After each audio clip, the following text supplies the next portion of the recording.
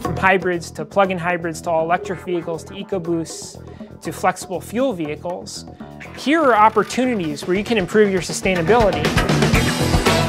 The scope of alt fuel is so large that you need to have, number one, understanding of, of the trucks, the, the equipment that we are selling, but two, you need to be cognizant of what is out there.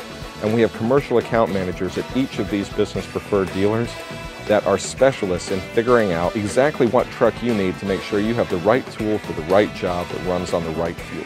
So which vehicles would work best for them in their fleet based on where they drive their vehicles, what their driving style is, whether they're driving mostly in the city or highway, to help them understand which vehicles will give them the best fuel economy and the best payoff.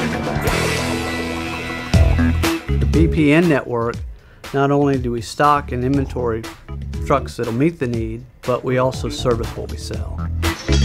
Our business preferred dealers have service departments and parts departments that are tailored to commercial customers, and they have specialists who will help you outfit a vehicle, which is the challenge with all these alternative fuels. To me, that's the biggest part of the business preferred network is that uh, you can feel comfortable as a, as a customer that you have a place to take that truck, that they're going to be able to fix it and get you back on the road as quickly as possible because you know what, if you don't, you can go out of business. They understand the cost of vehicle downtime. They realize that it's not just an inconvenience to you. If your work vehicle is not available, you're losing money.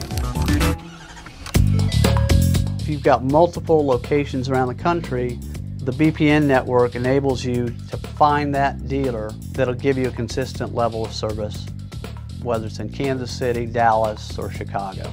And I'd argue that a commercial account manager at a business preferred dealer is more concerned about how you spend your money than you are. And as a business owner, that's exactly the type of experience that you want.